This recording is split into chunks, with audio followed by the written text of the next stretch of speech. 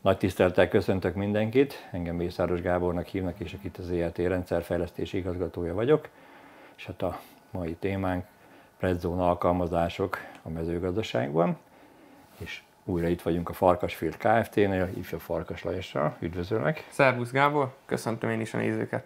És ma a Predzone alkalmazások közül a tudásbázis lesz a téma, ez egy aktuális téma nálatok, ugye két okból is kifolyólag. Egyrészt ugye a precíziós mezőgazdaságot ilyen magas szinten ugye művelitek, másrészt te egyetemista vagy, ugye a vizsgai időszak kellős közepén, akkor az a tudásra ugye szükséged van. És hát nézzük át, hogy mi is az a tudásbázis, és te ugye hogyan használod, és hát tudok egy-két olyan új információt adni, hogy még jobban átjöjjön neked ez a tudás a mindennapokban. Na, nézzük meg, hogy a tudásbázis, ugye miért is hoztuk létre. Ugye a KITE megalakulása óta, ugye az 1973. január 1-én alakult, ugye mindig is arra törekedett, hogy a legújabb technológiákat elhozza a világból Magyarországra, ezeket adaptálja, ugye jelen pillanatban is egy külön fejlesztői csapat van, aki megvizsgálja az adott terméket, technológiát, utána ezt digitalizáljuk, és föltöltjük ide a tudásbázisban, és ugye mindenki számára elérhető válik. Ugye ez egy többszintű rendszer, akkor van egy publikus része.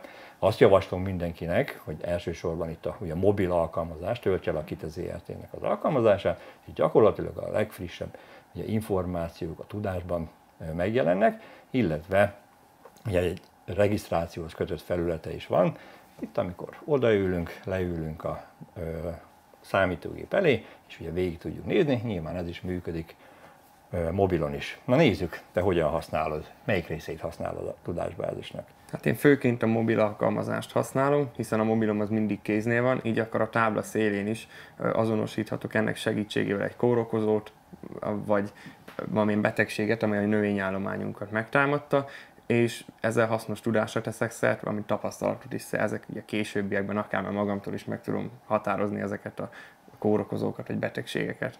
Hát igen, ugye a gyors elérés, de hát nézzünk bele a, a belsejében. Mi most belépünk, fölveszem a szemüvegem, mert nekem ez koromtól ugye, szükségem van. Ugye belépünk ugye a tudásbázisban, látom, hogy beléptem, és alapvetően egy kicsit a rendszerről, mielőtt ugye végignéznénk, hogy te még részét használod, ez úgy lett fölépítve ez a rendszer, hogy tematikusan szét van szedve agrotechnológiára, műszaki megoldásokra, precíziós technológia, szaktanácsadási információs rendszer, hogy a témák között is mappaszerűen ugye tudsz váltogatni, de van benne kereső, kedvenceket lehet beállítani, ugye a legutóbbi dokumentumokat meg tudod nézni, és nagyon gyorsan ugye meg tudod ö, jeleníteni ezeket az információkat, Hát nézzük már meg, hogy te miket használsz ebből, melyik azok a részek, amelyek.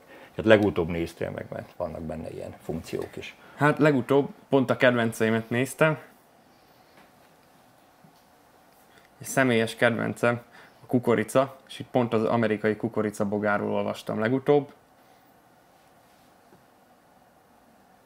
Igen, és olyankor ugye rákattintasz ugye erre a rendszerre, ugye már föl is dobta ugye a biológiáját, ugye ezt alapvetően el tudtad olvasni, hogy látom, mi a teljes biológiát, ugye a védekezési lehetőségeket. Na, miket szoktunk még, miket szoktál még nézni benne? Hát megmutatnám a kedvenceimet. Na, mik vannak beállítva? Hát a gépek nekem nagy kedvenceim, úgyhogy gyakran szoktam a legújabb technológiákról olvasni. Például a 360 Yield Center termékeit néztem múltkor, illetve a precíziós vetésnél a Precision Plantingnek a különböző rendszeréről olvastam. Hát igen, ugye ezért föl vagytok szerelve, hogy a Precision planting ugye vettek, és akkor alapvetően ugye itt is ugye információt tudsz, ez egy műszaki tartalom, mondjuk nézzünk egy másikat, mert láttam ott egy homogén növényállományt, ami az én kedvencem, és ugye veszőparipánk ugye kitébe, és ugye arra próbálunk hogy mindenkit rávenni, hogy egy homogén növényállományt alakítsunk ki és tartson fönn, és gyakorlatilag, hogyha ezt ugye végignézted, akkor ugye a betakarítástól ugye betakarításig ugye, szépen össze van szedve, hogy mik a, mi a teendők ebben a, a rendszerben. És egy kérdésem lenne, ugye most a vizsgákra készülsz, hogy a vizsgákban hogy látod?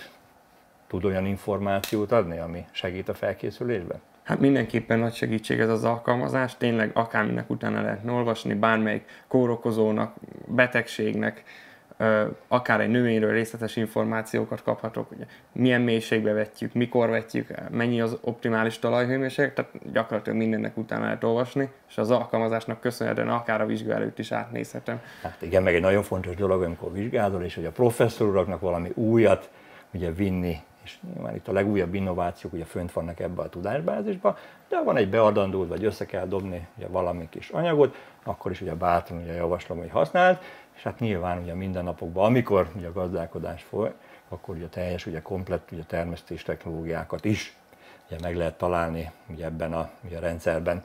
Hát én ugye azt kell, a jó böngészést, ugye jó vizsgázást ugye kívánok ugye nektek, illetve hát arra biztatok itt ugye végezetül mindenkit, hogy töltse le a kitének az applikációját, használja a tudásbázist, vagy látogasson a pgr.hu portára, vagy keresse szaktanácsolóinkat bővebb információra, és mi a segítséget fognak nyújtani. Köszönjük szépen!